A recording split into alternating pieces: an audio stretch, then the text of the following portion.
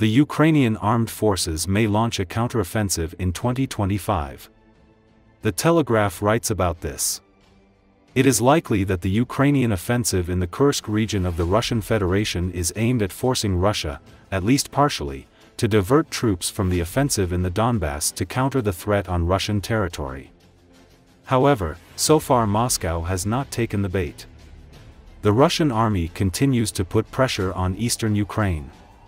There, Ukrainian troops, understaffed and stretched thin, are only capable of slowing down, not stopping, the enemy's advance, the publication writes.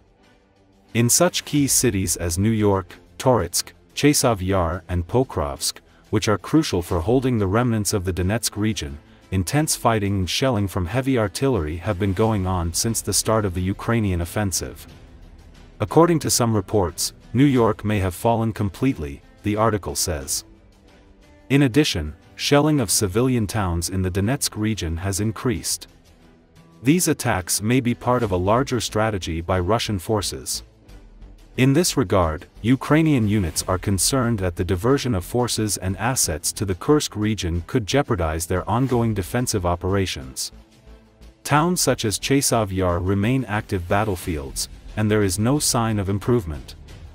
At the same time, in Toretsk and Pokrovsk, Ukrainian forces are reporting an increase in the number of Russian aircraft sorties, sometimes as many as 10 per day. Ukrainian forces in Pokrovsk are suffering from a shortage of manpower, which makes defensive operations difficult and counterattacks virtually impossible. The town's proximity to the front line and the range of Russian artillery pose a significant threat, as its fall could lead to Russia encircling Konstantinovka, Kramatorsk and Slavyansk.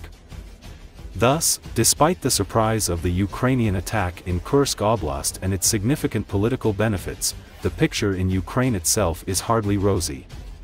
The Russian command remains focused on the offensive in Donetsk Oblast, using infantry, armor and aviation.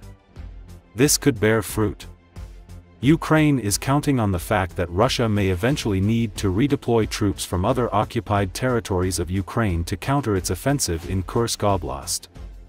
American officials suggest that Russian troops have already been partially withdrawn from Crimea, Kherson and Zaporizhia oblasts and may be redirected through the occupied Donetsk and Luhansk oblasts to counter the Ukrainian armed forces Kursk offensive. Ukrainian sources also report that Russian troops may be withdrawn from the Kharkov front.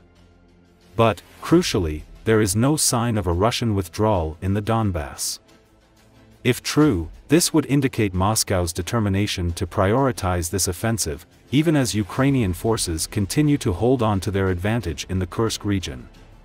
Despite heavy losses, Russia's continued gains in the Donbass are bolstering its resolve. However, several factors could still undermine Moscow's resolve. First, if Ukraine continues to make gains in Kursk, Russia may be forced to withdraw more forces from the occupied territories, potentially weakening its defensive position. This could extend the range of Ukrainian drone strikes, further undermining Russia's long-range strike capabilities. Secondly, Ukrainian brigades currently undergoing training could be deployed to reinforce the Kursk or Donetsk regions, depending on where Russian forces show signs of weakness. Such flexibility could allow Kiev to stage a counteroffensive in 2025, rather than just another assault on occupied Donbass, the publication writes. The Crimean Peninsula should not be forgotten.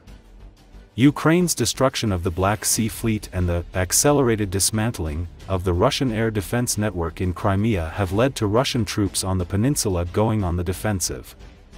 Guerrilla attacks have increased, and Ukrainian intelligence suggests that Crimea will be the next target, with the Kerch Bridge, already a frequent target of Ukrainian sabotage, likely to be destroyed in the near future.